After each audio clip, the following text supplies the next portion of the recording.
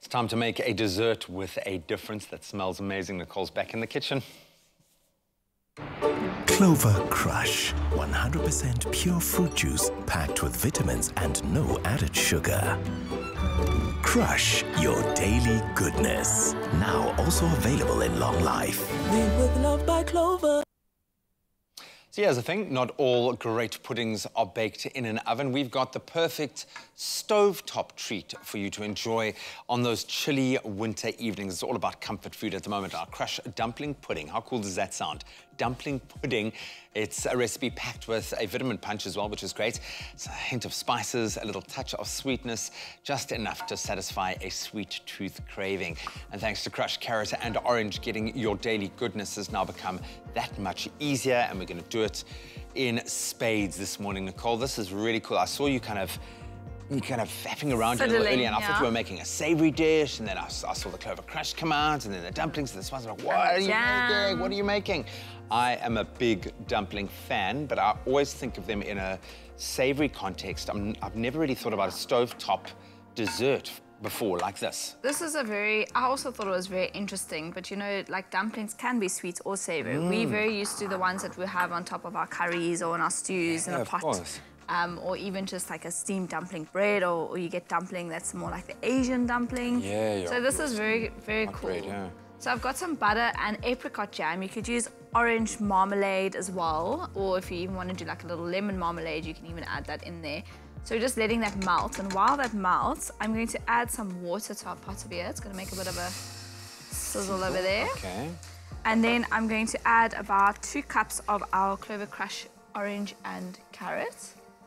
And this is going to be your poaching liquid, basically, that you're going Oh, to make clever, your dumpling okay. in. Yeah, a little bit of sugar.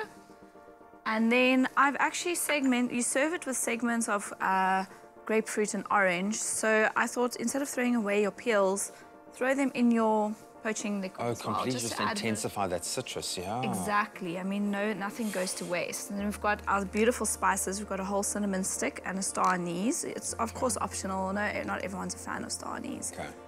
I think the, the, the spiciness will complement those citrus flavors so beautifully. Exactly. So once our syrup's on the go, that this is when you make the dumpling part.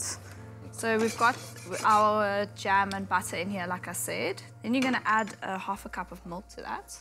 Okay. and then just gonna let that let that heat through. Then before you add, we've got a bit of bicarb over here, which is gonna make it fizz up.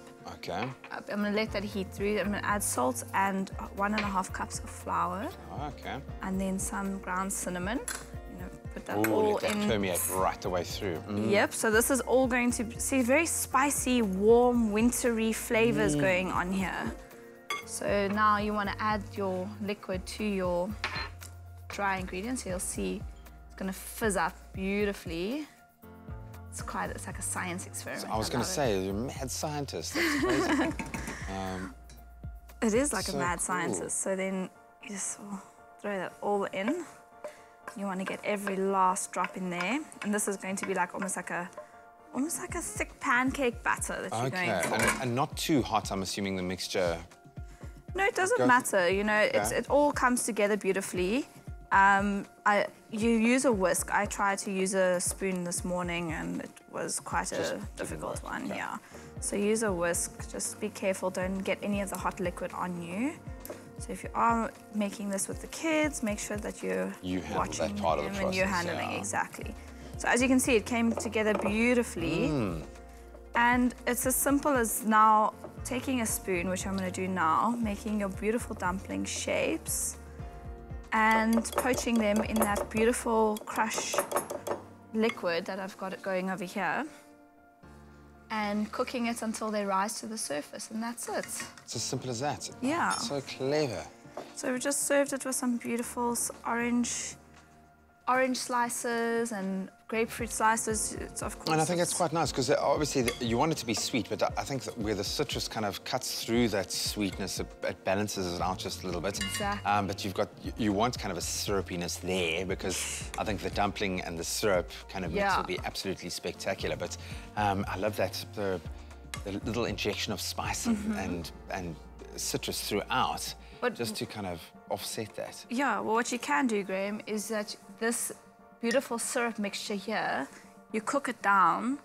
Once it's the dumplings are out, and you can pour it over. And that so extra, extra itself, sweetness. Yeah. Do it, do it. I'm going to say do it. You'd be crazy if you did. um, you can find this entire recipe on expressoshow.com. Um, you can find a ton of culinary uh, delights there. In fact, we've got a, a host of recipes and other lifestyle information, but uh, really, really good source. And I, I, funny thing is, my mom and I have started, like, one of the ways we've been communicating through lockdown is through, like, food packages and cooking things and Yeah. baking stuff. And my mom's whipped out, like, 30-year-old recipes that she's gotten from her great aunt. And, you know, it's just been like that. But she's Those been, are the best. Share completely, completely. But she's been um, tackling a lot of, and both her and I were, were super inspired. I still haven't done it, the um, carrot cake recipe that you made. Okay. Oh, Did you guys try it? Amazing. Amazing. So as you can see, it cooks very quickly. You don't want them to overcook, otherwise they will just become So literally, one once big they float to the top, you know they're, they're ready to rock. They're good, and that's a gram. That's all it is. Oh, Beautiful, beautiful dumplings over here. I actually want you to taste the new ones that I've just made for you over there.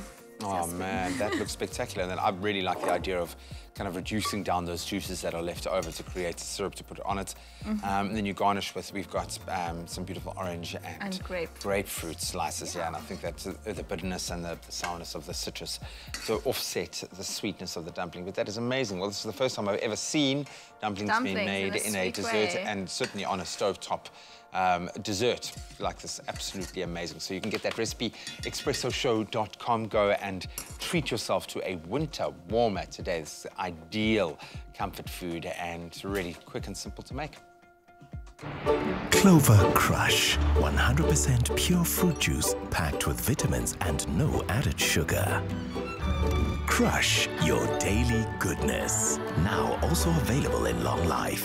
Made with love by Clover.